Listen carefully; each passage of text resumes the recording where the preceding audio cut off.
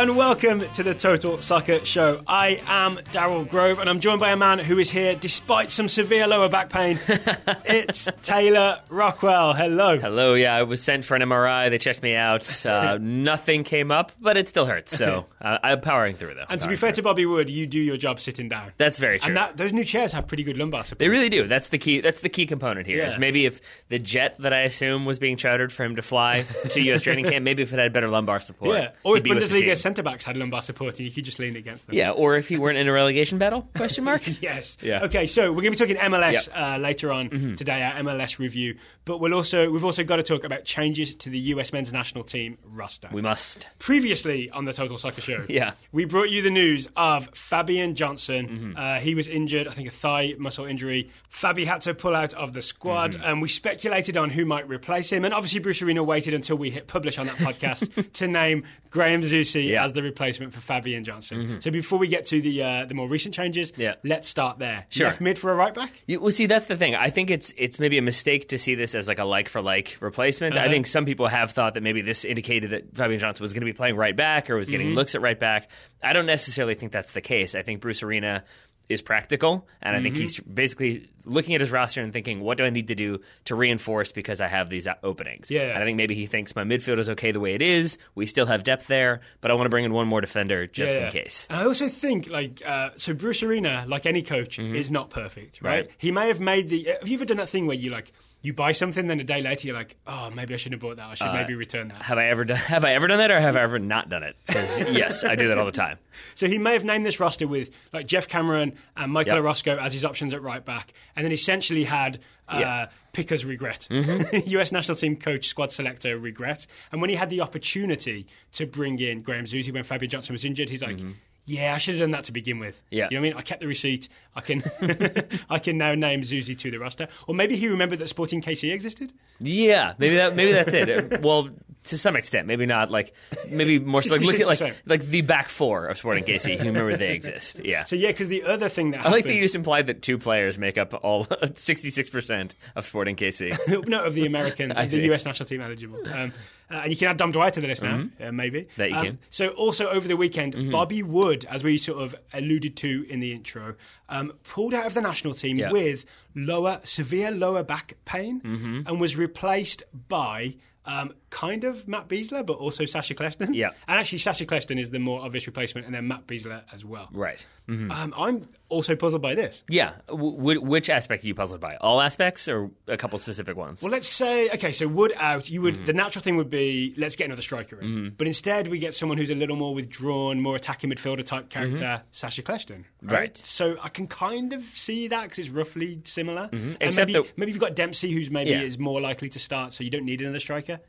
Except that we watched Sacha Kljestan play for the Red Bulls this weekend. Yeah. You could maybe argue that it's the formation that isn't doing him any favors. Right. But even on like set piece delivery, I thought he was not his usual self. Yeah. Whereas Benny Feilhaber kind of tore it up this Yep. weekend and Well- was very impressive. We'll get to all that in the review, right? But I Mm-hmm. Would I would note that I believe when the announcement was made that Kljestan was replacing Mm-hmm. Wood, it was before Kljestan's performance against Seattle, mm-hmm. right? Which yeah, which but it was after Benny Feilhaber's goal for Sporting KC. Right. And so uh, it's it's still a frustrating thing for me, at least personally, just that I started the day watching footage and being like, okay, okay, things are looking better. Like I can Yep. see why this is happening. And now I'm sort of back in that like, is this that arena thing where he's calling in the people he likes as opposed Yep. to the people that maybe fit what the team is trying to do or what he wants to do with the team? And it just gives me a little bit of a pause for concern. Well, he might say those are the same thing, uh, but there's also the Mm-hmm. might. old, the old sort of Bruce Arena complaint that he just trusts certain people and relies on certain players too hard at the risk, like at the expense of bringing in fresher faces. Yeah, and, and I think the key, Question and I think the key phrase there, yeah, being too hard. Yeah. Because trusting someone, relying on someone, knowing what they are capable of is Yeah. a very good thing. But when you start to think, oh, they've got it, no problem, I'll look at everything else, and you're not really critically evaluating that position or Mm-hmm. Yeah. that potential vulnerability, Yep. it can then become a real vulnerability. And Right. that's the only thing that alarms me, is that it might be an example here of like, oh, Kljestan can handle it. Yeah, he's had a bad start of the season, but we know in big games he'll pop up. Uh-huh. It's it's roughly the equivalent for me of like when we play. this is a big reach. I apologize, people, That's but it's like roughly I'm- I'm the equivalent of like playing CVSA, playing local soccer, Yeah. and it's a person who's been out of training, has been injured, hasn't been playing at all, and then they come in after two months and they're like, I'm ready to go. Yeah, Put me at center back. Put me at center mid. It's like, Uh-huh. uh, should we though? Because I know you're very good. But on the other hand, you're kind of out of form, and I don't Uh-huh. feel like maybe you're going to execute right away. Mm-hmm. Bruce Arena seems to think these guys will execute, and so it will be fine. Okay, and what about the Matt Besler edition? Because that seemed like it Mm-hmm. wasn't necessary. Like we already had what seven people who could play centre back Mm-hmm. on this roster, um, and he just took the opportunity to bring in Matt Besler. Yeah. So now we have 25 on the roster, 10 of which are defenders. Yeah, literally. Yeah. Mhm. Right. Mm-hmm. Yeah, and I think of those, like seven are center backs, for, like first choice center backs. So he can't have needed an extra centre back. No. I can't imagine that. Uh, maybe, oh, maybe it's the John Brooks um, MRI Mm-hmm. Yeah. thing. So John Brooks, uh, for people who don't know, scored for Hertha Berlin Mm-hmm. this weekend. Um, I haven't seen it. I'm going to assume with his head. Yeah, it was it was a nice like it was kind of a it? it? was a powerful flicked on header. So Yeah. it was like near post, I think from a corner. Yeah. He wins it at the near post, puts it in side netting. Okay, a power flick. Mm-hmm. Yep. that's what I'm going to Yeah. call that. A directional header though, for sure. but then was complaining about was it his knee? Mm-hmm. Yeah, Or uh, Hertha Berlin were complaining about his knee for him. and they had him scanned and then cleared him to be released. So maybe this is like I maybe need another left-sided centre back. Yeah. Or is it I don't trust Villafaña and I'm a little worried about Besler, so also let's get this guy who can play left back, or is it all of the above? I think it might be all of the above. Yeah. Maybe it's also just that you want defensive stability to the extent possible, and Mm-hmm. maybe again he looks at his attacking options and think either I have what I want, or there's nothing out there that really is that appetizing to me. Benny Yeah. Feilhaber again, maybe a single tear rolls down his cheek. Yeah. But I think maybe maybe- that's what it is. Maybe someone challenged Arena like, how hard could you troll Benny Feilhaber this weekend? and he's like, and we'll he see." executed Yeah. flawlessly. Yeah, so it might be that like he is a replacement center back. He can come into camp, Besler? see how sharp he looks, Besler, but he also can play at left back if the situation necessitates that move. Okay, so the other thing I want to talk about with Bobby Wood's back Mm-hmm. injury is I was kind of joking in the intro, but Mm-hmm. also what's the phrase you use? Kidding on the square. Yep. Because we've heard a few times from say Gabriele Marcotti, the uh, Times journalist, Mm-hmm. Yep. uh, the game uh, podcast host, suggesting that the go-to injury for players who are faking an injury to get out of something is lower back pain, Mm-hmm. Right. Because it can't be tested for and can't Right. be proven uh, to exist or not exist. Right, because essentially it's not like like for example John Brooks, if he's complaining of knee pain, they can do that MRI, they can look at it and Yeah. say, "Oh, your meniscus is like slightly swollen, but it's Yeah. it's not You can see severe issue." inflammation, right? You can Yeah. see, right? With a back, there's so many things that could be wrong that Mm-hmm. it's essentially I guess impossible to check everything in a short amount of time. Mm-hmm. So it tends to be the thing that a player who wants a new contract or is frustrated by a situation or wants to move or just doesn't like a situation, Yeah. well, they'll complain of a bad back. This is what Diego Costa maybe had for a little Diego while when he was Costa- thinking about going to China. And I believe Dimitri Payet as well. I, Dimitri Payet, of course, Yeah. the classic example this year. I think this is where I learned this. Yes. Yeah. yeah, I think so. So Are we suggesting that this is what Bobby Wood's doing? No, I mean because there's no reason. It's not as though he Yeah. and Klinsmann, Klinsmann, he and uh, Bruce Arena have like bad blood. That said, I do think that I am maybe inclined to believe in conspiracies more than you, and I do wonder if Jurgen Klinsmann were still in charge, if I would be like, huh. What are you doing here, Bobby? What are you doing? Um, but no, I think it's probably. I think it's fueled by the fact that we saw him sub out for Hamburg in like Yes. the 90th minute. 91st. There we go. Um, and he seemed fine. There wasn't like a grabbing of the back. There wasn't like you don't you didn't see him as far as I could see. You didn't see him like continuously trying to stretch it out and like kind of doing those like moves that you would do when Yeah. your back is a little bit sore. I'm doing them if you're wondering. My, my voice is changing. Yeah. I'm going to say maybe if this is a continuing problem, because that's what um, Hamburg Yeah. said afterwards, right? Um, and he aggravated like a, a back injury, which suggests he already had one. or it was like he like but it, see, it was still not that severe that's where i'm still sort of like Yeah. confused about because it was like he he like aggravated a sore back or That was something it, like that. It yeah. wasn't like a bad back or a, Uh-huh. a pulled muscle or anything in, in the back. It was he, he had a sore back and it was sore again. But I guess we should be careful with um, Yeah. Uh, statements from a club in German Yeah. being translated to. I think Very it's the true. Associated Press translated it into English, and then that Mm-hmm. then that gets spread around. You got to be careful, right? Mm, And I think I think if these were international friendlies, if this was January camp or something like that, maybe that's a different story. Mm-hmm. I don't see why there would be any reason for Bobby Wood to feign an injury No. or like even if it's a minor injury, miss World Cup qualifiers Yeah. for the sake of maybe getting back to fitness and not having a sore back Because anymore. Arena's spoken glowingly Yeah. of Wood. It looked quite likely that he was going Right. Mm-hmm. to start. Um, my guess is the reason he didn't look in pain during the game and when he subbed out is maybe pain-killing injections. That could be. Mm-hmm. right because the, the news obviously came out after the game, but not immediately after the game.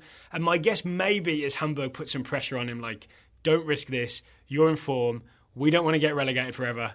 Like you know, what I mean, Mm-hmm. so maybe some pressure came from the club, but I'm just massively speculating. there. It's probably not a smart thing to be doing. yeah, who knows? Who knows? Yeah. So in the end, we can just say that uh, Bobby Wood out Fabian Johnson out, Kljestan, Zusi, Besler all in, and Yeah. we don't really. I don't really know how I feel about it. I'll put it that way. Yeah. And at the end of it, it's not like okay, I can see what we're doing here. I can get a consensus lineup in my head. Everything makes sense. I know we'll talk about this later, or Mm-hmm. Yeah. like in the you know next couple days when we do the the Big full preview, preview. for Honduras. But yeah. it's still, it just, I'm still sort of left with that feeling of uncertainty about this roster that I don't necessarily love heading into two need to win, must get points games. Mm-hmm. Yep. Uh, Matt Doyle called it must win and must result. Yes. Mm-hmm. Honduras and Panama, respectively, which I think is the, the right way to phrase it. 4 point minimum Yep. Mm-hmm. is what I'm saying. Um, so, the, just talking about these, these injuries before we move into our MLS review, um, the one thing I would say is it maybe sets us up to see whether this squad is deep or not. Mm-hmm. Right. So I think Arena talked about this being the, the deepest US pool for a long time, but it's been shorn of an informed goal scorer who was informed in the Bundesliga, really lighting it up,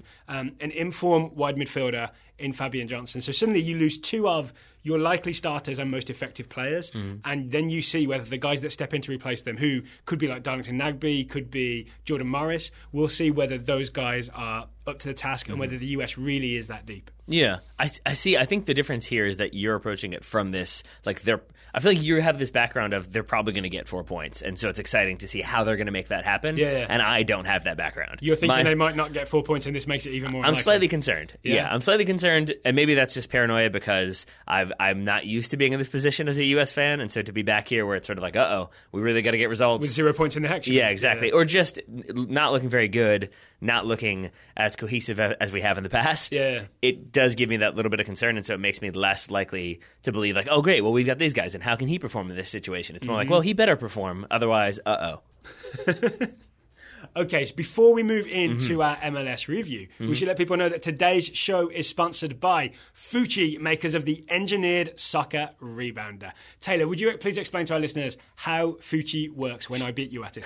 Sure. Uh, when you beat me at it, it's in your fantasy, and then in the real world, uh, it's essentially uh, it's kind of the best way to characterize it is like half soccer, half squash. Yes. It's basically you uh, you set it up. It takes about ten minutes. You can watch our instructional video Mm-hmm. to set it up if you're so inclined, and then basically it's got that that net, the rebounder, so you can pl- basically play one on one if you want to, Yep. so you can improve your skills, Yep. or you can play against one opponent or a group of opponents. Yep. And it's essentially hit it against the net, ball rebounds, hit it Landed in the court net. is the key part. 'cause If you hit it too hard, it bounces out of the court. It looks impressive for like three quarters of a second, and then you get the sad face. it or you put too much spin on it, it lands on the side. It's it's a whole thing. You got to learn how to do it. It's really good to work on your touch, and it's also good as like a game amongst friends or a game amongst competitors, which is how we end up doing it. Yeah, it is.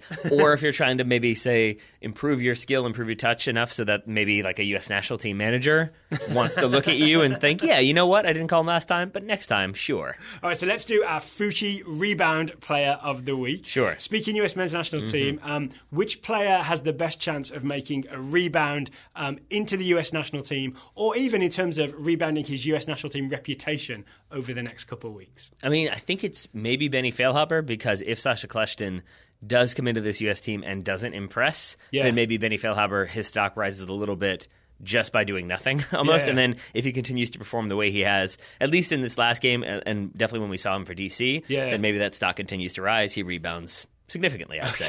Fair enough.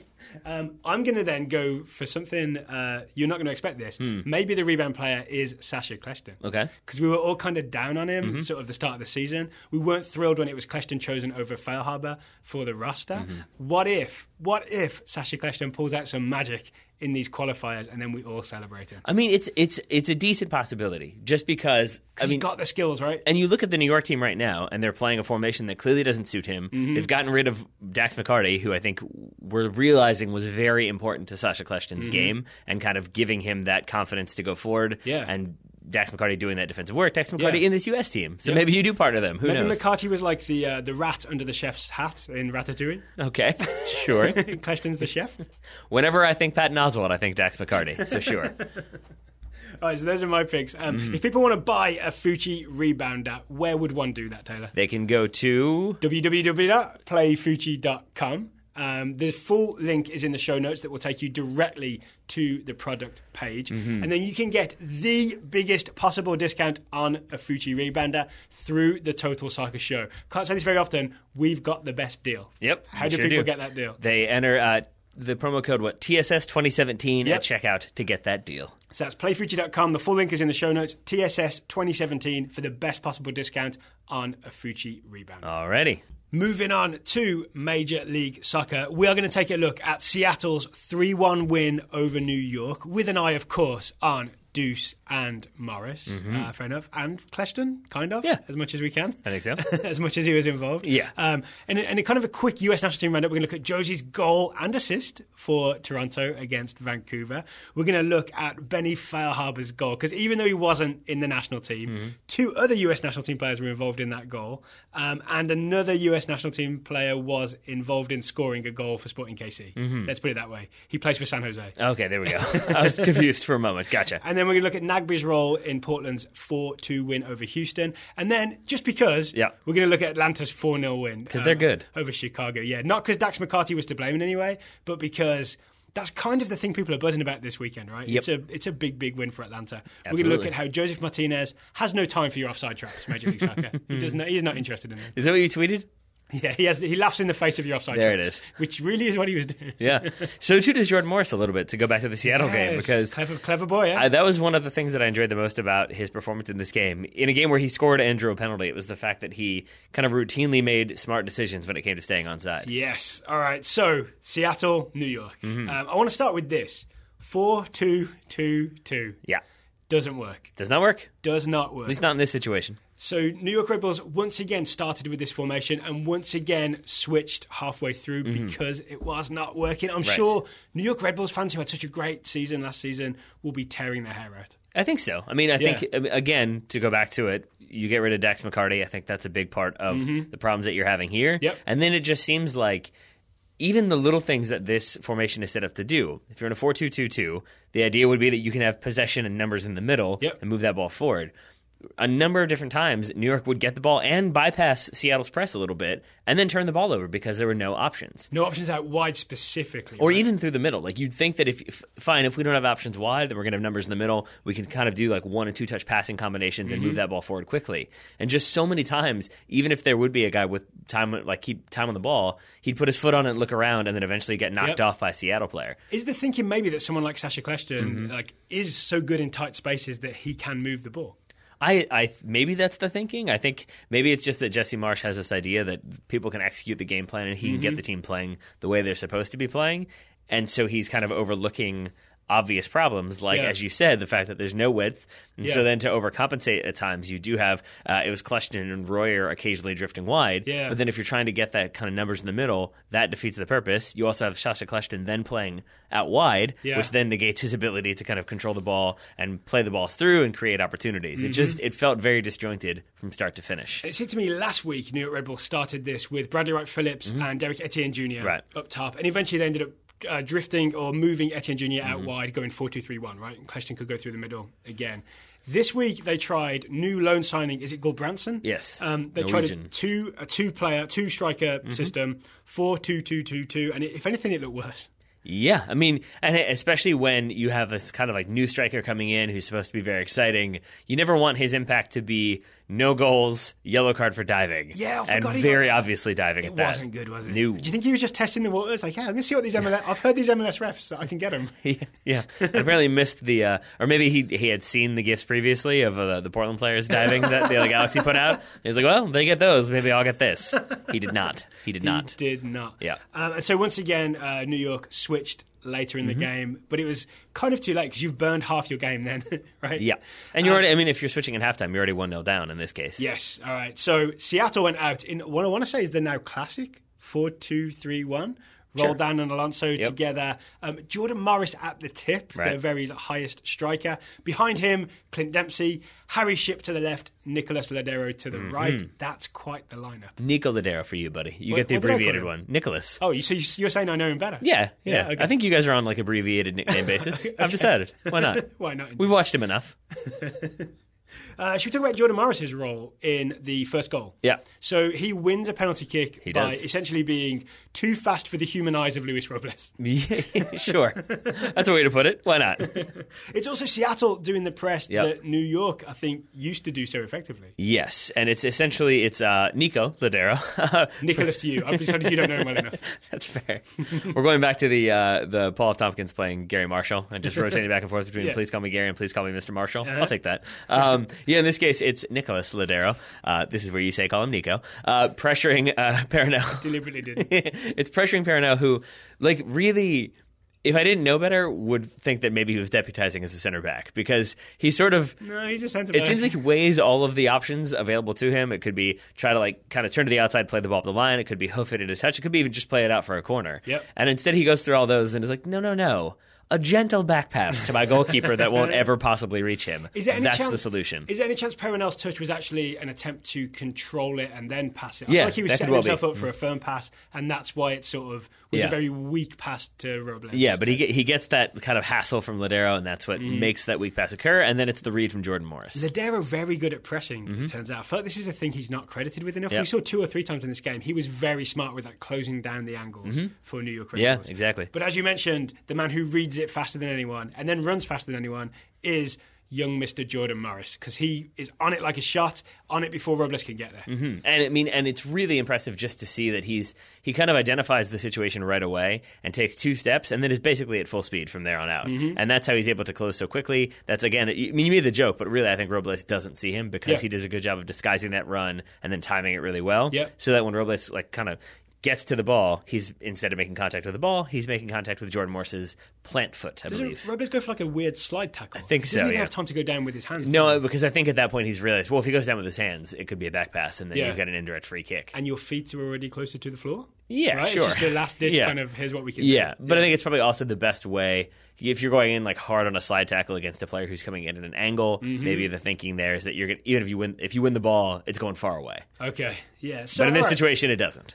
What, what if Robles hadn't fouled Jordan Morris? This is like Mm-hmm. a pro con Jordan Morris thing, right? Because if he hadn't fouled him, I feel like Morris is taking his angle way out wide. Mm-hmm. Yeah.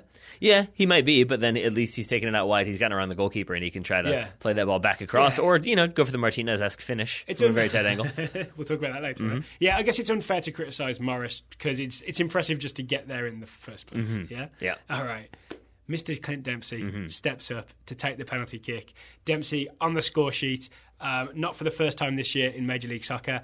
Um, I want to say, not just the penalty kick, but his all round performance, Clint Dempsey, Mm-hmm. does it fill you with more confidence that he might be fit to start or at least play significant minutes against Honduras and or Panama? Uh, yes, and this is why earlier I said like I was happy at the start of the day because we were watching this game. It seemed like Clint Dempsey was back to the kind of sharpness that I didn't Mm-hmm. Yes. think he was at when he was Sharp's called into the squad. right? Yeah, that there was lots of decision making. There was in the 20th minute. He kind of has like a no look reverse pass into the path Yeah. of Jordan Morris. I called it in my notes. I called it a spin pass. Yeah, Like he turns yeah. and clips and puts spin on it. Yeah, yeah. but it, and it's, it's he's reading the defense. He knows where his teammates are. It's that kind of veteran wisdom from Clint Dempsey that I like Mm-hmm. to see. The only tiny thing that gave me pause for concern was late in the game. He kind of retaliates against Felipe. Felipe gives him a bump, and he gives him a big old shove that I think he thinks the referee hasn't seen, but the fourth official did. Mm-hmm. Yep. Then he kind of mouths off to the, the the sideline official, gets a yellow card, and that's the only element there. And I know that you could say that that's you know old Dempsey being fired up. yeah, I took it as like, oh, he's really back, and if he's doing this stuff, but you could also see it as Clint Dempsey vulnerable to being CONCACAF and getting a kick and getting a stamp here Yeah. and getting frustrated, giving a shove, getting a yellow card, and suddenly you can't really afford any other like minor indiscretions or it's going to be a red. because given what he did to Felipe and the Mm-hmm. way he shoved him, there is um, an alternate reality that we very could have easily entered, Mm-hmm. where we're sitting here doing this podcast today and we're talking about Dempsey being sent off, Yeah. playing for Seattle. Yeah. right. That is definitely something that could have happened. I think so. And to the extent that like the referee did not see it, if the referee had seen it, I think there's a chance he does get sent off. Yeah. Because I mean, and you know, you could argue it's uh, oh, it's you know the nature of the game. It's a little feisty. There's going to be some shoving, but I think he doesn't get sent off because the referee doesn't see it, and maybe the fourth official says it's a shove. It's probably a yellow. Mm-hmm. You maybe don't want to go on the advice there when giving a red card. Or maybe he's thinking, we got that qualifier. I hope not, but kind of I hope so. Um, so Jordan Morris um, does get himself on the score sheet. He does. uh, later in the game with a header at the far post. Not something I normally associate with Jordan Morris. No, Not that I- he doesn't do it often, but it's Yeah. not the you normally think of the pace at the one-on-one with the keeper. Instead, he sort of heads home at the far post from a Nico Lodeiro cross. Yeah, and it's and it's. I think to say it's a Nico Lodeiro cross is to uh, to take away a lot of the credit that Yeah. goes to Joevin Jones. Well, you can't you can't head home a nutmeg. yeah, this is true. but yeah, it's essentially the ball goes out wide to Joevin Jones. He collects it. I forget who it is. Oh, Sal Zizzo, who goes out, who goes out there to try to defend him, and I think basically comes in too fast and kind of out of control. I think Joevin Jones Mm-hmm. identifies this possibility that he's not going to be able to kind of correct his positioning to Yep. Mm-hmm. be in good defensive shape, and so Joevin Jones puts that ball right through his legs. We've talked in the past about um, people looking at their opponent to like read what the opponent's doing, so you can like react to what their Mm-hmm. Yep. legs do. Joevin Jones in this situation isn't looking at his opponent, isn't looking at the ball. Instead, is fake looking back down the field, making Zizzo think he might be playing the ball backwards. Mm-hmm. Yeah. I'm convinced that that's what persuades Zizzo to just open his legs up just enough to squeeze that ball through. My guess would be that Zizzo doesn't know, or thinks that Joevin Jones doesn't know he's coming. Yeah. and because because that's usually when I try to use that move. It's when the the player I can tell is coming at me Tried really. the Jones move. Oh, I've, yeah, Yeah? yeah, It's it's it's the best move ever because it's so simple, but it's it's just a tap. But if the Yeah. player is like coming in really really hard and thinks like, haha, he has no idea I'm coming. Mm-hmm. I'm going to poke the ball away. I'm going to like kind of give him that the body. I'm going to knock him down, and then you just poke it right past him. Yep. It's it's really easy to do and can make the, them look foolish. And I think it's worth uh, going into this Mm-hmm. maybe, especially for people who haven't played soccer and have never had the joy of nutmegging someone. Mm-hmm. The reason it's so great, especially in the situation Jones has done it, and I Mm-hmm. say this as someone who doesn't often, I'm, I'm more the nutmeggy than the nutmegger. Um, Same here, The, yeah. the person coming towards you is coming at full pace, Mm-hmm. and so you can go even from a standing start. You put it literally through them as if they were a ghost, and then you can come around the other side, and they're- they've accelerated in the wrong direction. Mm-hmm. Right. Mm-hmm. That's the beauty of it, right? that You've got them going in the wrong direction, so they really can't catch you Right. if you do it right. And because you've overcommitted if you're Sal Zizzo at that point, your teammates have all thought, okay, Joevin Jones is facing the other way. Yep. Mm-hmm. He's going to go lock him down. They're going to have to play that ball back. We're good. And so they all relax. They all kind of step out. They're not aware of the fact that there are three players waiting at the back post. And so suddenly when that Meg happens, Jones is in, and he really. Yep. I mean, he probably could dribble and shoot, but I think he he wisely picks out that that has been cut off now. I think a defender comes across and like closes that. I think down a little Perrinelle is bit. the one who drops back in, but in in But so doing, more chaos, right? Because then Perrinelle's come out of the middle. Yeah, and he's left Nico Lodeiro. And so now that Yes. Nico Lodeiro's open, that ball can go to Lodeiro, who can then, I think, one time it back across the goal. It's a Yep. really well placed ball to the head of Jordan Morris, who knocks it home. and if I remember, it's Jordan Morris, Flacco, and Dempsey are all Yep. there. And there's only I can't remember who they are, but there's two defenders. That's a mismatch, right? Yeah. One of those guys is going to be free, and Morris is the guy that's free and heads it home. And and it's and to the point that like the move by Jones throws everybody off. I think Billy Billy is the left back who Jordan Morris runs around and wins the header over Yes. for the goal. I think he has no idea that Jordan Morris is even there. Oh yeah, we replayed this a few Yeah. times, right? To see if he glances at Morris or at someone else, or Yeah. because uh, Morris gets behind him, right? Yeah, and he does, but then as soon as that ball goes out wide, he starts to kind of drift away, like, oh, okay, we're Mm-hmm. good, and then suddenly is kind of reeling and having to figure out what to do. So this is the theme of the day: um, Yeah. New York players not knowing that Jordan Morris is there. Yes. yeah. Then the so I guess so overall a good performance by Jordan Morris gets the goal, draws the penalty, but there are those moments. So Yeah. you've got the ankle injury, which he says he's okay. Yes. Um, but So it, take him at his word. it gives you a little pause for concern. We had a great report from Michael Lazar about Yes. about this game where he referred to the awkwardness of the post match interview, Mm-hmm. and that in that interview Jordan Morris was like, "Yeah, it's okay." Like I guess kind of didn't want to make a big deal of it, didn't want to overstate. Well, I guess we all need um, we all need reassuring after Fabian Johnson and Bobby Wood Yep. Mm-hmm. and like you know what I mean. I think I think we want to make sure that no more strikers or U.S. national team players at all Mm-hmm. get injured. and so it's and I'm in a strange position of saying that even with the criticisms I had of uh, Clint Dempsey and my con- concerns about how sharp and fit he was coming into this game and the U.S. men's national team camp and how exciting Jordan Morris was in this game, I still think I'd rather see Clint Dempsey start if I had to choose between Clint Dempsey and Jordan Morris. Well, we'll get deep in this Mm-hmm. on Wednesday, but I've got to ask you why why so? Because I think the defenses the United States are going to be playing against are going to be very compact. I Honduras think, Panama? yeah. I think they're not going to be playing a high line. There's not going to be that much room to exploit the way there was in this game, which I think Mm-hmm. suits point. Jordan Morris's style. Yeah. I think you bring him on late New when York he has that dynamism and energy. New York go really high, don't they? Mm-hmm. We saw a lot of times that uh, it almost looked too far. They were pushing when they were trying to press. We Mm-hmm. saw that back line come up really far. Right. Yeah. And so I think that really benefits Jordan Morris. I don't know if a compact defense that he has to pick his way through does. I mean, because we saw he had a chip that he maybe could have put on frame, but I think didn't take quite Yeah. like didn't use quite as good technique as maybe he should have. Yeah. Then he had sort of a breakaway, but his first touch wasn't very good. Yeah. Put him under pressure. Then he kind of scuffed the chance, and so it's just those little moments where it's he's not quite at that level yet, Yeah. where you trust him to pick apart a defense and figure things out, whereas maybe you do with Clint Dempsey. Okay, all right. So there's your Seattle, New York review. Uh, 3 1 to Seattle. New York, go back to the 4 2 3 1. Get Sacha Kljestan in the middle. Yeah. Yeah? I think so. Let's do that. Maybe Sure. bring Dax McCarty back if you can. Uh, probably can't. I think Dax McCarty, even if offered, probably wouldn't Uh-huh. go back. can't, can't we do the buyer's remorse like we talked about with Bruce Arena earlier? Like, if uh, New York keep the receipt. I think I think Dax McCarty is having even even though he lost four 0 on the on the weekend. I think still pretty happy with the way things ended up. Maybe. All right, other things around the league. Let's Mm-hmm. talk about Jozy Altidore um, for Toronto against Vancouver. Okay, so it's 2 0 to Toronto. It is a Jozy Altidore assist. It's a nice nodded header across goal Right. for Vasquez. And it's a Jozy Altidore goal that almost almost fills me with joy because. One, it's against uh, Kendall Waston, Yeah. the giant Kendall Waston. Uh, the, he's, I mean, he's a bad man Mm-hmm. as well, right? How many times have we seen him sent off? I mean, w- there was there was the red card to Brek Shea in this one, and then there was some bad blood later in the game where I think it was Kendall Waston holding his entire team back at one Yes. point. yeah, he's like Hodor, right? Yeah, He basically. Spoiler alert. Yes. Um, so, Jozy Altidore up against Spoiler alert that Hodor holds things. Yeah. cool, got it. Jozy Altidore with his back to Kendall Waston Mm-hmm. receives the ball. That is a tough job in and of itself. This is for his goal I'm describing. Uh, the pass comes from Osorio. Mm-hmm. What he does next, I think, is what makes it kind of special. He manages to kind of receive and spin and shoot Yeah. in like a lot of very quick touches to the point where we were in studio trying to figure out which feet he used, Mm-hmm. right? Because it all happened so very quickly. Yeah, that's the thing, and and and it might have been a little bit confusing there.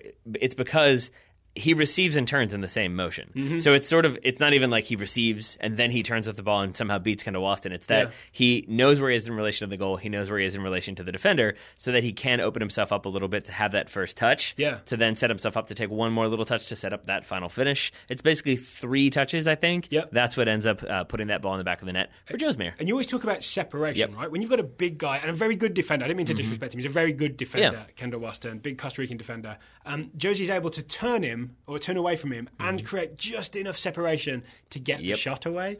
Really good work from Jozy. Absolutely. I mean, and then and I think it combines everything we love to see from Jozy Altidore, right? It's Yeah. like the physicality, it's it is the speed, the quickness, that quick acceleration, Mm-hmm. but also the technique and the finishing ability. It's everything you want to see in a striker heading into a very important series of games. In which he will start, yes. Yeah, and then it's also that first goal for Toronto, that assist. Vasquez goal, It's yeah. just a really nice cushioned header back across goal, and it really I love those types of goals where it's like the cross in and then the headed back and then the put home Mm-hmm. because it just kind of covers all that ground. But it really points to Jozy Altidore not just looking for the goals, but also looking to create goals, not Yeah. just kind of selfishly. No matter what, I got to be the one on the score sheet, but picking out his teammates and making things happen. We're 100% convinced it wasn't an attempt at goal that was off Yes. target that then Vasquez scores off. because of the way he heads it, it's it's very much like that cushion kind of. I'm doing exactly what I want. I'm positioning it where I want. It's a very directional Yes. header. Yeah, because if you're like going to score from there, you're, you're hitting it as hard as you can. Yeah, I think so. Right? Yeah. Mm-hmm. yeah, there'd be more power on it. All right, so we're up on Jozy. Uh, Jordan Morris got a goal. Clint Dempsey got a goal. Mm-hmm. All the US strikers in the squad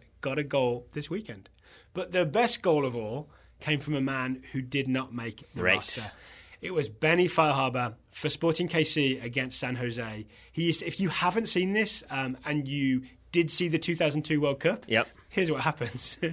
Benny Feilhaber did a Ronaldinho against David Seaman England Yeah. type goal Yeah. against David Bingham. hmm I mean, basically gets the ball. Uh, I think fed from Graham Zusi. It's a square ball. I think you tried to give Graham Zusi credit for like a very Hey. good assist. Does he get an assist for it or not?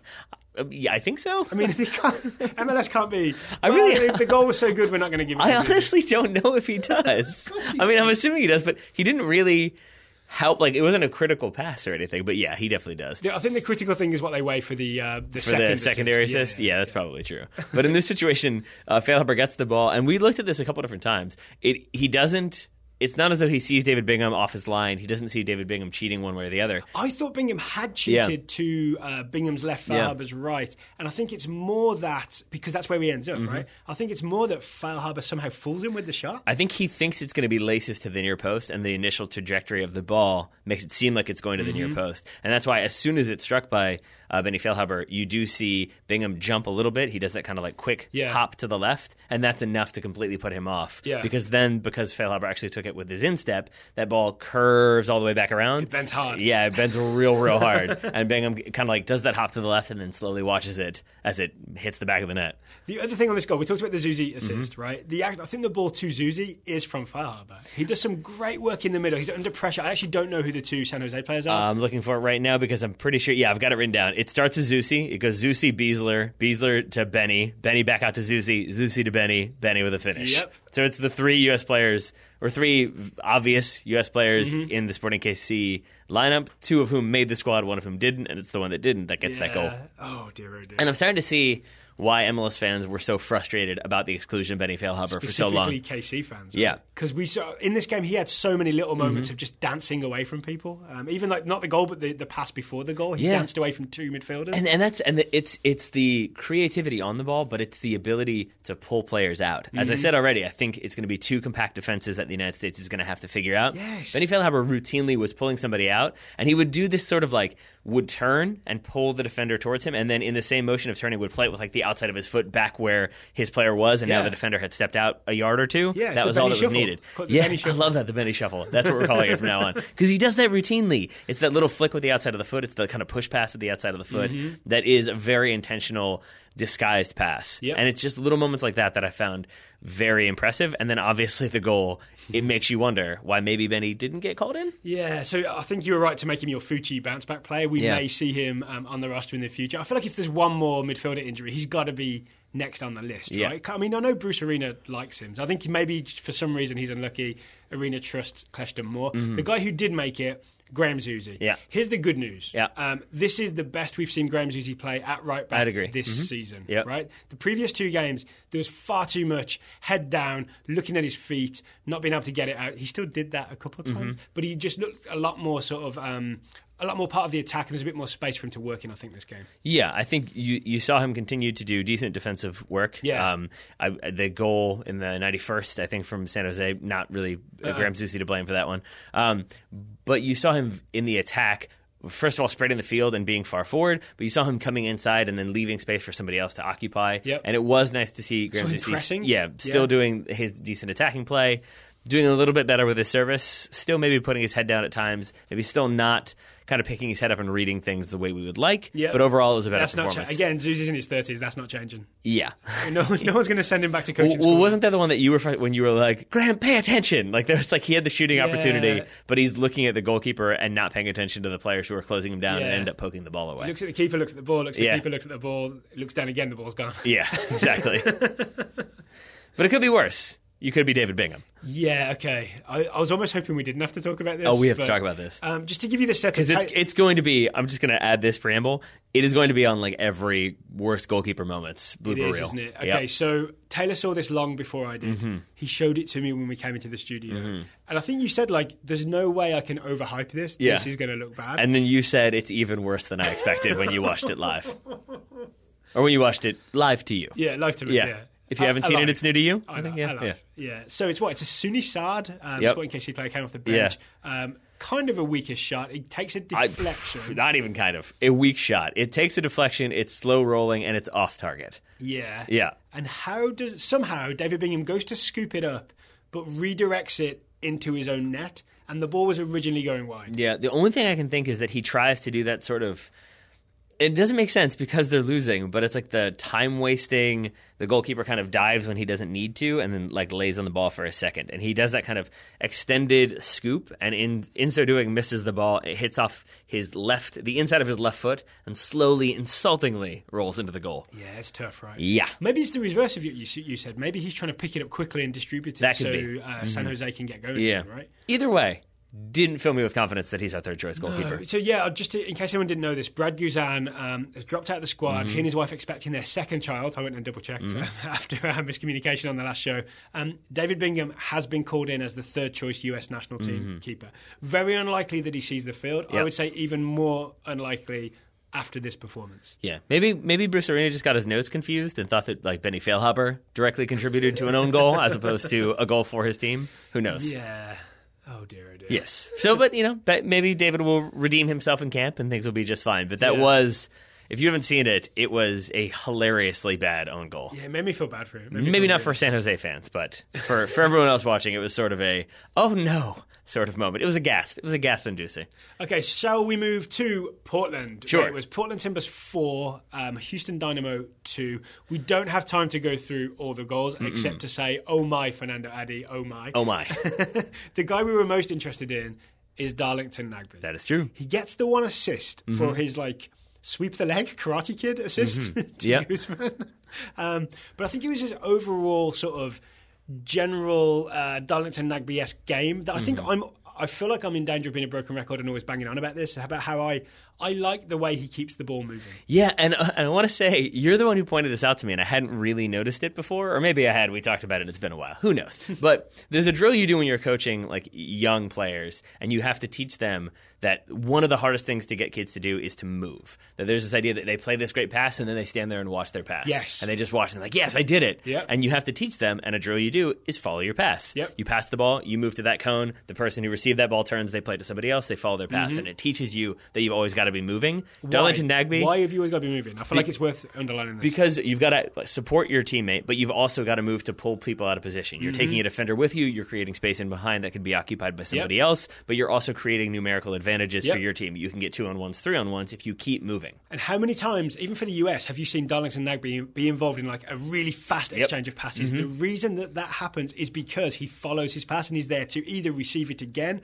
or to pull out somebody else who would have been sort of been able to Yeah, defend. he took that drill to heart, is what I've clearly learned. And I want to say even his coaches were like, Darlington, you're doing it too much. Yeah, yeah, maybe. But even so, I can't remember if it was Nagbe or Bradley or both. But there was a game that we saw where, like, I think it was Nagbe played the ball wide, and the player wide played the ball back to Nagbe, and Nagbe continued to play it back to him, and It then was they did it. Nagbe and Vytas. Yeah, and they kept yeah. doing it, and I think Not this game, Your joke at the ago. time was like, "No, you take the ball." Like Yeah. Nagbe was trying to get that point across, but in actuality, I think what he was doing was, if you're the if you're Nagbe and you dribble, you can be closed down. Somebody else can step to that player. Mm-hmm. Now all of a sudden, you've you've you're marked out, and you've kind of negated that space. Yeah. Nagbe playing that ball to Vytas, it pulls defenders out of position because now they've got a mark, but because the ball's in motion, they can't just come body Nagbe off the ball. Yep. They've got to move with it, they've got to adjust, and again, that allows space in behind. That's what Nagbe is so adept at doing, and it's really, I very much appreciate you pointing it out because it's not something I'd really been able to like notice specifically until this game. Okay. Yeah. So, and here's the other thing: the reason that I wasn't too Mm-hmm. down on the Fabian Johnson injury, right, is that it means probably Nagbe gets to start at left mid. Mm-hmm. Not. Pro- I mean, I'm not. St- the, the US lineup is all up in the air, right? And we'll go through it all on Yeah. Wednesday.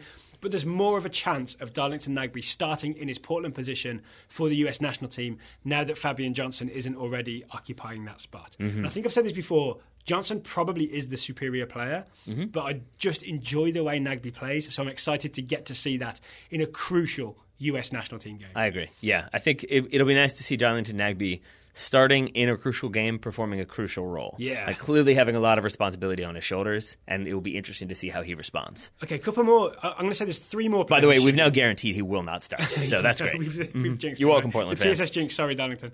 Um, so we um, maybe should look at three other players that were involved here, Sure. all for Houston. Um, the first Portland goal, I Yep. believe, comes from DaMarcus Beasley playing left back for Houston and handballing in the box to give Yeah. away a penalty. And I'm going to call this, rightly or wrongly, I'm going to call this he pulls a Yedlin. Because he does that, he's trying to, he's trying to defend a cross, and he does so by jumping up in the air and turning and looking away and Mm-hmm. raising his arms. That's like the recipe for disaster because now you're Yeah. not tracking the ball. Um, maybe Diego Chara learns from this, and that's why he concedes a handball later on. Because when you jump and you look away and you put your arms up, you have no idea where the ball is going. And even if you don't mean to, your hands by being up are in an unnatural position. Yep. You're going to concede a penalty, and that's just what DaMarcus does. Oh dear. He also looked um, overmatched for pace. The the very many times that Alvas Powell decided to overlap Mm-hmm. him. Right? Yeah, he overlapped and overran DaMarcus Beasley a couple times. And then he had the misfortune very late in the game DMV? of having to go one on one in a like 50 50 situation with Fernando Adi. yes, That was ugly. To be fair, there's not many people can do that. Maybe No. Kendall Waston could do that. Maybe Andre the it. Giant. But like but like but, but it was it was just sort of a reminder of like, oh yeah, he's small. Yep. Yeah. Oh, yeah. And and so it does make me wonder if maybe just maybe Bruce Arena was considering starting DaMarcus Beasley and watched this game and thought, ooh, maybe not. Maybe against physical defenses, maybe I want to put somebody in. Maybe against counterattacking defenses, I want to put somebody in Yeah. and just have that extra assurance there in case. And maybe that's why uh, you get Matt Besler in there. Not that Matt Besler is known for being particularly fleet of foot. Not saying he's slow. not saying he's DeAndre Yedlin. But Uh. He's a little maybe maybe it just gave Bruce pause for concern. And we'd speculated before that maybe one of the reasons Beasley is in this squad, or at least Mm-hmm. one of the upsides of having Beasley in the squad, is that he has three Honduran teammates on Yep. that Houston team. That he does. Um, two of them combined for a goal. So Yeah.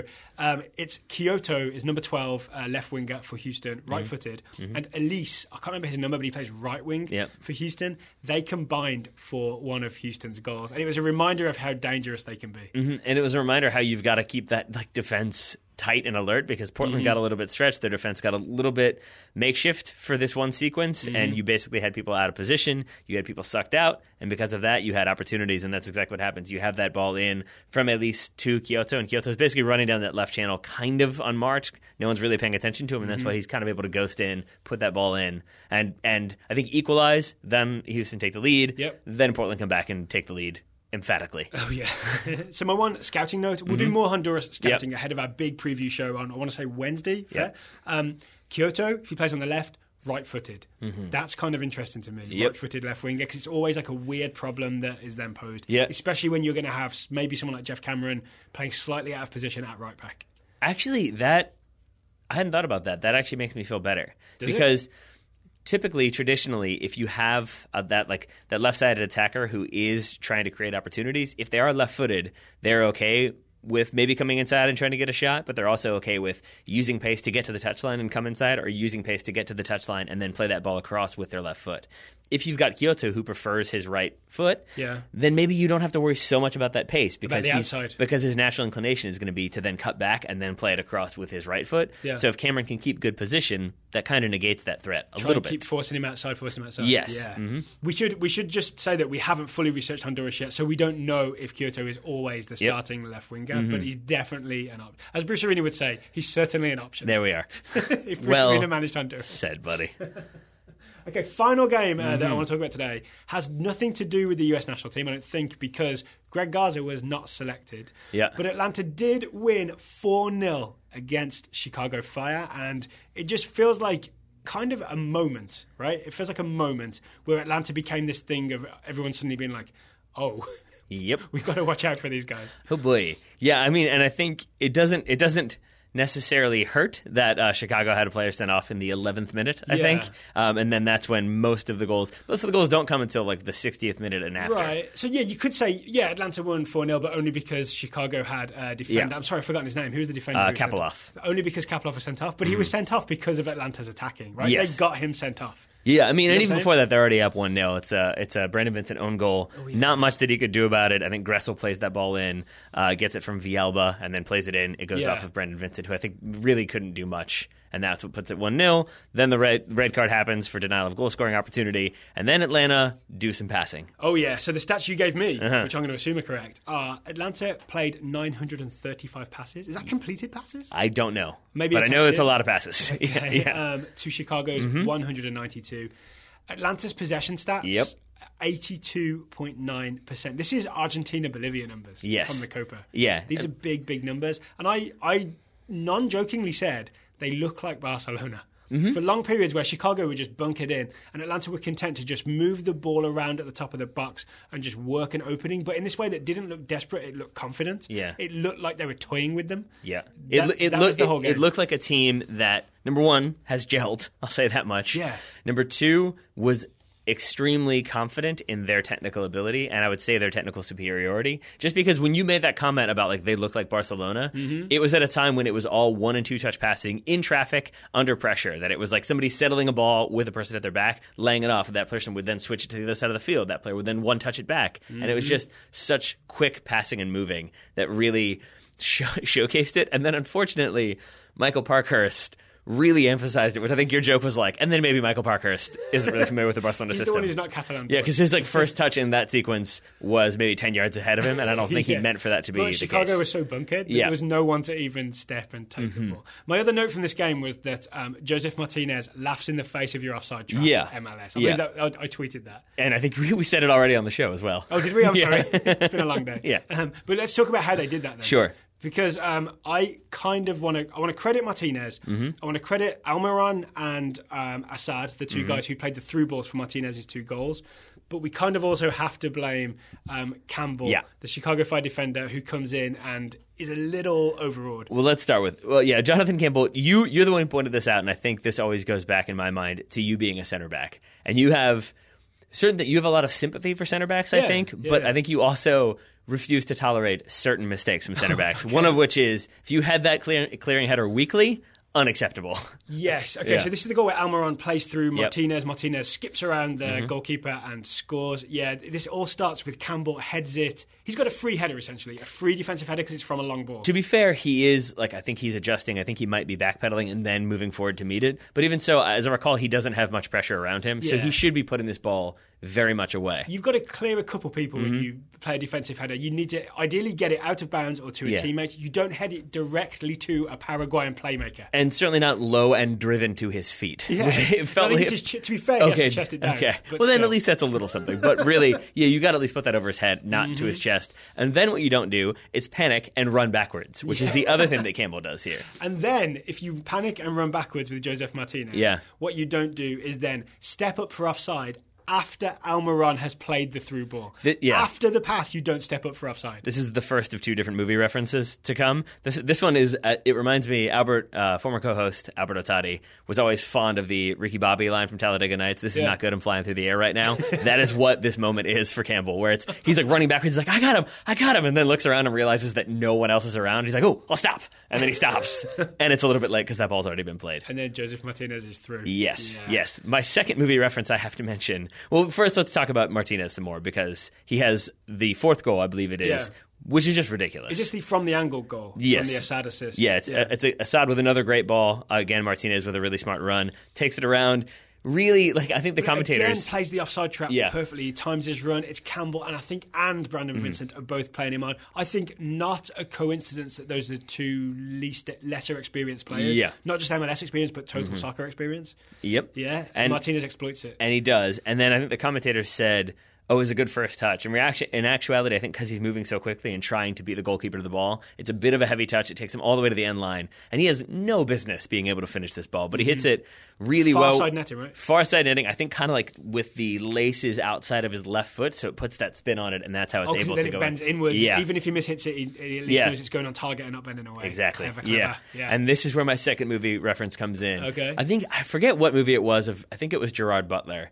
Uh, but one reviewer, I think the comment was the most compelling drama in this movie was watching Gerard Butler struggle to contain his Scottish accent. and I really love this game for the commentators really, really, really trying not to be super hyped about Atlanta. And it Yeah. starts with Kapilov where he gets that red card, and they're all sort of like, "Oh, that's you know that's not denial of goal scoring opportunity. Like that's ridiculous." It was. He pulls the guy down. It's the last defender. That guy's in on goal. It's Martinez who's probably going to score. Yeah. And from there, it just becomes like, so tell me how good this Atlanta team is. Do you think? And it was Yeah. just a lot of the last thirty minutes or so were a lot of conversations They were about getting hyped. like, yeah, do, like, do you think this is a supporter shield winning caliber team? Do you think the Red Bulls fans like should be scared? It was a lot of sort of very leading questions. The jury, uh, the defense would object. Is all I'm saying. All right, we're not going to have that conversation No. Mm-hmm. because 3 games in, it's too early. Yeah. it really is. Yeah. right? Because we haven't seen even seen Andrew Carleton take the field yet. I'm not sure we will, and based on these the MLS Cup. performances. Yeah, but but I just I have to say I really this Atlanta team is so much fun to watch Mm-hmm. that I kind of do have them as like appointment television. That it's, they I- really if they've got the front four playing, it's worth tuning in just to see what they're going to do next. I am excited to see Atlanta. Supporter Shield winning team right here. I'm excited to see Atlanta Portland. I think actually Yeah. after we finish recording, the next thing I'll do is scan the schedule to see when that game is happening because that's two high pressing teams Oh. Mm-hmm. who know how to move the ball. and both have deadly goal scorers, one in Adi, one in Martinez. That could be that could be a really great game to watch. My word, that's going to be an exciting word, game. indeed. I'm very excited. Okay, we'll be back on Wednesday with our full preview of the US game against Honduras. Mm-hmm. To close today's show, we have a trip to the Total Soccer Show Scouting Network. Shall we go to the Total Soccer Show Network first, or shall we go second and go to England first? It's up to you, my friend. You want to go to England for West Brom Yep. Arsenal. Okay, so so so so. Yep. Um, TSS listeners, um, Ira and Isaac Jersey Yeah. were at the West Brom Arsenal game. Isaac was a mascot. He walked out with Salomon Rondon. And you know what, Daryl? Solomon? Rondon, get your act together. Get out, out out of that tunnel faster. That's all I'm saying. so the highlights we saw, we couldn't catch it. We No. couldn't catch it because they cut away because Rondon was, and I I think a couple of the West Brom Yeah. Mm-hmm. players were slow coming out of the tunnel. Ira and Isaac, let us know. Like, was, was he delayed, or was it just happened that he was a bit of a bit of a slow walker? Yep, but we got to see some footage, Irish shot of Isaac uh, warming up Yeah. on the field, which is pretty cool to see. Yeah. Yeah, yeah, and then I'm sure they were pretty pleased, given that uh, I'm guessing they were backing West Brom in this game. I don't, actually I don't know who they support, but I Oh, that's guess they would have been in the West Brom home section. Yeah, West Brom won 3 Mm-hmm. 1 against Arsenal, which actually, as a Wolves fan, underlines just how far behind West Brom we've fallen. Used to be level pegging. Uh, we had. Um, our predictions for this game. Yeah. Mine was that West Brom would score via a Salomon Rondon header. Didn't happen. Did he not. was present. He did not get his head to any of the balls that resulted was- in he was present. West, West Brom goals. I think he was subbed out after the between the first and second goals. Yeah. So he yeah, Uh-huh. was replaced by Hal Robson Kanu, who did score. and I'm so bitter because just from uh, Euro, like the Euros, this past Euros, I have a lot of love in my heart for for Robson Kanu, and I was about to predict that he'd score, but I was like, I have no reason for doing that. Yeah. That doesn't inform this game at all. I should pick something that's actually going to happen, which involved for me Olivier Giroud coming in and scoring. That's what I thought. Olivier Giroud would come in. My prediction, I think, was that he would score. After the 65th minute, he came in in the 65th minute. No goals for Olivier. Mm-hmm. Oh, so we Yes. both we both backed uh, failed target man. Mm-hmm. yeah, happened. And you know who instead, how Robson Kanu came in and scored. Do you know who did Wang. get their prediction right? Who's that? Isaac. That's right, he did. He predicted Arsenal would take five shots from outside of the box. Yep. I, I believe, I'm guessing as a result of uh, West Brom's defending. Yep. And exactly that happened. All right. If I want to claim some credit, I would say at least two of the West Brom goals came from headers. So they, that was like the approach. You're right. That's the same against thing. Yeah. and you know, I mean, to be fair, Rondo was subbed out, and so then maybe somebody else came in and had the header that led to the goal. I know how you worked Daryl. Right, yeah, okay, I want credit for that. Then. No, absolutely not. We should mention two other things in this game with the, uh, the the flyover, the Arsenal, Mm-hmm. The um, double flyover. Yeah, one in support of Arsene Wenger, Mm-hmm. one against. At time of recording, I am thoroughly confused Yep. Mm-hmm. about this Arsenal Arsene Wenger situation. I keep seeing that he's going to sign a two-year contract, and then I see that he's going to step down. I don't know what. I see that they've approached Thomas Tuchel. That's been reported. Yeah, yeah, it's by Bild, who are not always the most trustworthy. That's very true. Bild are very tabloidy. that's very true. Yeah. It seems as though they were. But start the Christian Pulisic to Arsenal rumours now. yeah, why not? Yeah, sounds good. sounds good. Uh, I, it seems like he's going to sign a two-year deal. That seems to be the most consistent, commonly reported threat at present. I'll do you a deal. Um, you listen to Goalmouth Uh-huh. uh, Tuesday morning. We'll see if I've got the news by the time I record Goalmouth. Sounds like a plan. Okay. Shall we move on then to the Total Sock Show Scouting Network? Let's do. First on my list here, I see Michael Lazar's report on Jordan Morris, which I believe we've already addressed. Mm-hmm. Yeah, so we thank you, Michael, for that scouting report. Second on the list is Alex Brew, who is scouting Davie Selke, the 22 year old German striker for RB Leipzig. Lovers of the 4 2 2 2. Um, Alex says Selke came off the bench in the 56th minute in an effort to bring Leipzig back into the game, but Werder Bremen scored two second half goals to win 3 0. The loss leaves RBL 11 points out of first. Remember when it was a title race? Yep. But more importantly, brings Dortmund and Hoffenheim closer to them. Dortmund are now three points behind Leipzig in third, and Hoffenheim are now four points behind in fourth. So we've got a bonus Bundesliga update there. Hmm. This is also very important because uh, Bundesliga have the three automatic qualification spots. Similar the Champions League, Yeah. yeah. So you definitely want to finish in the top three spots. I see, I see. If you can't knock off Bayern Munich, which Right. it seems like no one can. I feel like Pulisic and Dortmund are going to win the Champions League, so they'll just they'll qualify that way. Yeah, I'm fine with that. That works for me. uh, up next, Olaf Danelius, scouting Erdal Rakip, the 21 year old Swedish midfielder for Malmo. Uh, the offseason, says Olaf, uh, in Malmo, saw two major changes. The first was the controversial firing of their head coach, despite winning the league title last season. Do better. Do you got to do better than winning the league? Title? Yeah, somehow.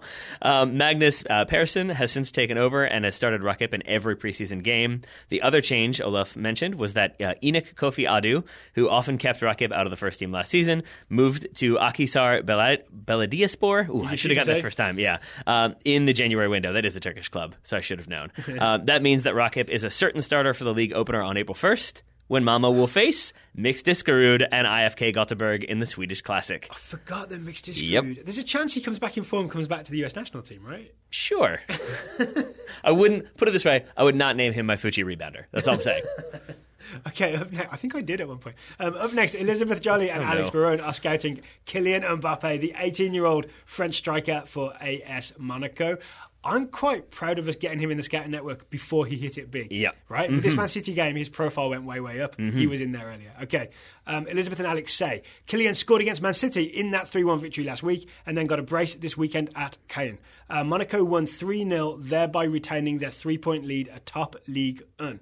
That means Mbappe now has 13 goals in his last 12 matches. As a result, he got his first call up to the senior French national team, or, quote, Big France, including Temu Bakayoko, who was included as a replacement for Paul Pogba. Yeah. Pogba injured? I think there's an edit there. I apologize. I was supposed to say that Mbappe is one of five Monaco players called up to uh, Big France for the first time, uh, or maybe not for the first time, but five players called up, including Timo Bakayoko. Okay. Yeah, Paul Pogba injured, did not play this weekend for Man United. I see, I see. And I'll add that uh, uh, Elizabeth, who I sent in this, who sent in this report, added that there were Man United scouts in attendance, and that their theory, their hope, is that United sign him and then loan him to Wolverhampton, and thus both of us are happy. I'd take that. I would take that too. I think. Who's next? Uh, next is Russell Varner scouting uh, Hugo, Ugo Ariano. I'm going to say that's how you pronounce that. Hugo? Yeah. Yeah, sure. Right. The 19 year old American defender for the LA Galaxy. Ariano was named uh, again to the bench on Saturday, but did not see any playing time in the Galaxy's 2 1 win over Real Salt Lake. Things seem pretty quiet on the Ariano front, apart from him occasionally retweeting something about his beloved Real Madrid. That's a. it's weird that he's tweeting about the Galacticos, but not able to play for the Galaxy. Nice. Thank you. Andrew Baird is scouting Josh Perez, the 19 year old American winger slash striker slash attacking genius for Fiorentina. Hype train, hype train. Mm-hmm. Um, Andrew says in an interview with Bein Sports, Perez confirmed his commitment to the US national team, stating that he was looking forward to playing with the senior team, team and hopefully making it to a World Cup. Not the World Cup, mm-hmm. a World Cup. Here's an editorial note, Daryl Grove, just so you know.